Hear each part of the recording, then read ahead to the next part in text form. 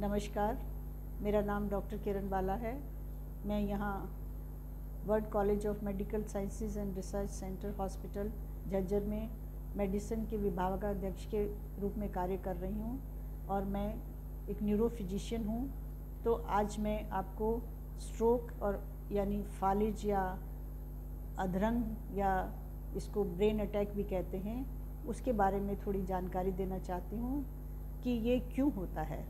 इसके क्या risk factor हैं? किन कारणों की वजह से व्यक्ति को स्ट्रोक होने की संभावना ज़्यादा होती है? तो सबसे इंपॉर्टेंट है इसके लिए ब्लड प्रेशर जो हाई ब्लड प्रेशर के मरीज़ होते हैं, वो, उनमें इसका रिस्क सबसे ज़्यादा होता है। उनको क्लॉट वाली बीमारी, जिसको हम स्कीमिक स्ट्रोक कहते हैं, या ब्रेन हेमरेज दोनों होने की संभावना ज़्यादा होती है।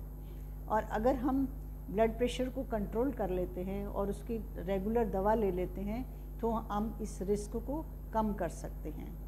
दूसरा रिस्क फैक्टर है इसके लिए स्मोकिंग यानी टबैको यूज़ किसी भी रूप में हम अगर टबैको का इस्तेमाल करते हैं, चाहे सिगरेट बीड़ी, हुक्का, खैनी, या वैसे तम्बाकू खाते हैं हम, चाहे पान में खाते हैं, किसी भी तरीके से ई सिगरेट लेते हैं, सबसे हमारा स्ट्रोक का रिस्क लगभग छः गुना बढ़ जाता है। और अगर हम इसे छोड़ देते हैं, इसका सेवन बंद कर देते हैं तो दो से चार साल के अंदर हमारा ये रिस्क नॉर्मल पॉपुलेशन के बराबर हो जाता है।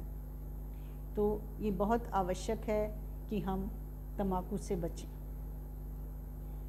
अगला रिस्क फैक्टर है डायबिटीज़ या शुगर की बीमारी।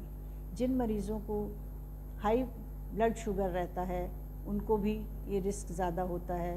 उसके अलावा किसी को हार्ट की प्रॉब्लम है हार्ट अटैक की बीमारी है, या वज़न ज़्यादा है, या जो लोग एक्सरसाइज नहीं करते फ़िज़िकल एक्टिविटी जिनकी कम है, या बहुत ज़्यादा शराब का इस्तेमाल करते हैं, उन लोगों को भी इसकी रिस्क ज़्यादा रहता है। और कुछ जिनको फैमिली में किसी को अगर स्ट्रोक या फॉलेज हुआ है, उनके लिए भी ये रिस्क बढ़ जाता है। और ये बता, आपको जानना ज़रूरी है कि अगर एक बार स्ट्रोक हो गया है तो दोबारा होने की भी संभावना रहती है। तो इसलिए अगर किसी को एक बार स्ट्रोक हुआ है तो इसके लिए जो प्रिवेंशन के लिए दवाइयाँ दी जाती हैं और जो रिस्क फैक्टर हैं, उनको ट्रीट करने की, उनको मैनेज करने की जो सलाह दी जाती है, वो इस फॉलो करना बहुत ज़रूरी है। इसके लिए हमारे यहाँ एक हीलिंग लैब बनाई गई है, जिसमें हम पेशेंट को काउंसिल करते हैं, उसके रिस्क फैक्टर्स की लाइफस्टाइल मॉडिफिकेशन के लिए उसको एडवाइस देते हैं, उसको मेडिटेशन और योगा भी सिखाया जाता है, जो कि फ्री ऑफ़ कॉस्ट है। तो मैं ये अनुरोध करूँगी कि आपके परिवार में, आपके जानकारी में कोई ऐसा व्यक्ति हो तो आप उसे यहाँ की सेवाओं के लिए ज़रूर भेजें ताकि वो अपना जीवन शैली को चेंज करके हाइपरटेंशन शुगर स्ट्रोक और हार्ट अटैक जैसी बीमारियों से बच सके।